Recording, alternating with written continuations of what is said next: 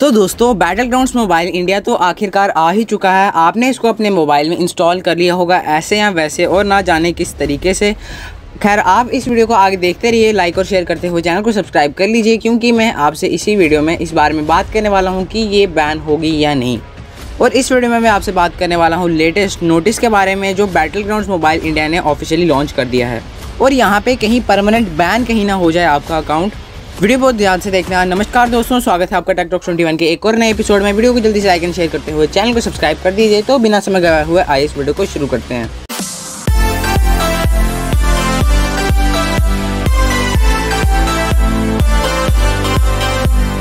तो यार, पिछले साल पबजी बैन हुआ था, इसके पीछे काफ़ी अलग अलग मल्टीपल रीजंस थे, लेकिन ये वापस आ चुका है battle ground Mobile India basically ये है, पबजी का ही फॉर्म है।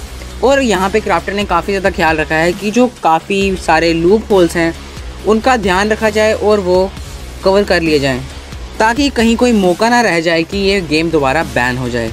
तो यहाँ पे एक लेटेस्ट नोटिस निकल कर आता है बैटल ग्राउंड मोबाइल इंडिया के बैन को लेकर। और इसमें बताया गया है क्या क्या चीज़ें आपको करनी है, अगर आपने नहीं की तो शायद से आपका अकाउंट परमानेंट बैन भी हो सकता है। तो यहाँ पे हमारे पास सबसे पहले निकल कर आता है Battlegrounds Mobile India official community policy और जहाँ पर आप देख सकते हैं कि जो इफ़ेक्टिव डेट है, वो है सत्रह छः दो हज़ार इक्कीस। और यहाँ पे अगर आप नीचे की तरफ़ देखें तो यहाँ पे क्लियरली लिखा है being a good squad mate respect your fellow survivors promoting a fair environment stay on topic calling for backup और यहाँ पर यह भी लिखा गया है स्टे अवे फ्रॉम यानी कि यहाँ पर बताया गया है क्या क्या चीज़ें आपको नहीं करनी है, जिसकी वजह से आपका अकाउंट बैन हो सकता है। Discrimination toxic behaviour promoting an unfair environment sharing illegal content या स्पॉइलिंग इंफॉर्मेशन तो यहाँ पर ये चीज़ें क्लियरली बताई गई हैं, यानी कि यहाँ पे क्राफ्टन ने अपनी तरफ़ से क्लैरिफिकेशन कर दी है गेम में आखिर क्या सही है और क्या गलत है। दोस्तों, बात करता हूँ इसके रूल्स ऑफ़ कंडक्ट को लेकर, कि आखिर क्या क्या रिस्पॉन्सिबिलिटीज़ जो हैं वो आपकी बन जाती हैं इस गेम को खेलते हुए, क्या रिस्पॉन्सिबिलिटीज़ जो हैं वो क्राफ्टन की हैं, और एट द एंड क्या क्या जो हैं पेनल्टीज़ जो हैं वो आपको लग सकती हैं। यहाँ पे मेन जो है आप नीचे देख सकते हैं पेनल्टी क्राइटेरिया फॉर मिसकंडक्ट अलग अलग यहाँ पे दोस्तों है जो पेनल्टी क्राइटेरिया फॉर मिसकंडक्ट जो है वो आपको देखने को मिल जाएगा। फॉर एग्ज़ाम्पल किस किस चीज़ की वजह से आपका जो है अकाउंट परमानेंट बैन हो सकता है? और सामने क्लियर जो लिखा गया है मैक्सिमम एक, दो, तीन या फिर तीन चार चीज़ों को छोड़कर कि आपका अकाउंट जो है वो परमानेंट बैन ही होगा दोस्तों। तो यहाँ पे आपको लास्ट में देखने को मिल रहा होगा ट्रेड या सेल अकाउंट्स यानी कि कोई भी इस तरीके के एक्टिविटी में अगर इन्वॉल्व होगा तो उसका भी अकाउंट परमानेंटली बैन कर दिया जाएगा। या फिर abuse of open market store policies और उसके प्रोसेसेस को लेकर तो तब भी आपका अकाउंट परमानेंट बैन ही होगा। तो दोस्तों, अगर आप ये चीज़ें देखेंगे डिटेल में तो मैं आपको इस डिस्क्रिप्शन में इसका लिंक दे दूँगा। आप इसको डिटेल में जाकर पढ़ सकते हैं। और यहाँ पर आपको मैंने पिछली वीडियो में भी बताया था कि प्राइवेसी पॉलिसी को किस तरीके से इन्होंने सामने रखा है। सर्विस किस तरीके के होंगे कि चाइना से इनका कोई लेना देना नहीं है। डेटा कहाँ स्टोर होगा, क्या है इनकी पॉलिसीज़ एटीन अबव वगैरह और भी बहुत कुछ। और यहीं पे क्राफ्टन भी आपको एक इन्फॉर्मेशन दे रहा है कि क्या अगर आप एक यूज़र खेलते हैं इस गेम को तो क्या आपकी ड्यूटीज़ बनती हैं, क्या आपकी रिस्पॉन्सिबिलिटीज़ है इस गेम को लेकर? आपको किन किन चीज़ों में आपको इन्वॉल्व नहीं करना है? और अगर कोई भी गलती से करता है, इनमें इन्वॉल्व अपने आप को तो यहाँ पे मिलेगी। क्लियरली पेनल्टी जो कि होगा, आपका परमानेंट अकाउंट बैन है।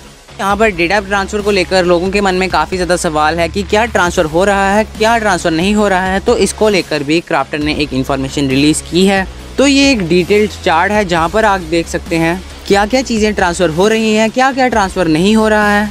तो यहाँ पर जो है, मैं इसका लिंक भी आपको डिस्क्रिप्शन में दे दूँगा, जाके चेक कर लीजिएगा।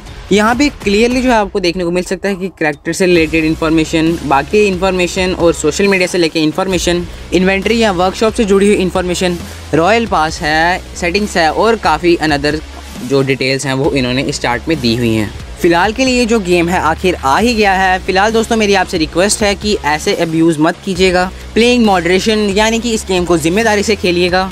इतनी अति भी मत कर देना कि दो दिन के अंदर अंदर या फिर क्या पता गेम ही दोबारा बैन हो जाए। तो यहाँ पर गेम में इस तरीके का इन्वायरमेंट बनाया गया है। यानी कि अगर आप किसी का सफाया करते हो तो वहाँ पे आपको किल नहीं, यानी कि फिनिश देखने को नज़र आएगा। रेड ब्लड की जगह जो है, वो ग्रीन ब्लड कर दिया गया है। ग्रीन ब्लड नहीं, यानी कि ग्रीन पत्तियाँ ही कर दी गई हैं। ये चीज़ों को बार बार बताते हुए ये कह रहे हैं कि एक सिमुलेशन है, ये एक रियल वर्ल्ड नहीं है। ये एक वर्चुअल गेम है दोस्तों। क्राफ्टर ने जो है, वो पूरा ध्यान रखा है इस बात का। और यहाँ पर जो है, वो पॉलिसीज़ लाकर ये बताते हैं रूल्स ऑफ़ कंडक्ट दोस्तों। और यहाँ पर जो कम्युनिटी पॉलिसी है किस तरीके से यूज़र्स की ज़िम्मेदारी बन जाती है, इस गेम को ज़िम्मेदारी से खेलना? और अगर आप इस गेम को किसी भी वजह से इंस्टॉल नहीं कर पाए हैं तो उसका भी लिंक डिस्क्रिप्शन में मैं दे दूँगा। जाकर अपना ट्रायल वर्जन ले लीजिए, यानी कि अर्ली एक्सेस कर लीजिए, अगर आपने रजिस्टर कर लिया है।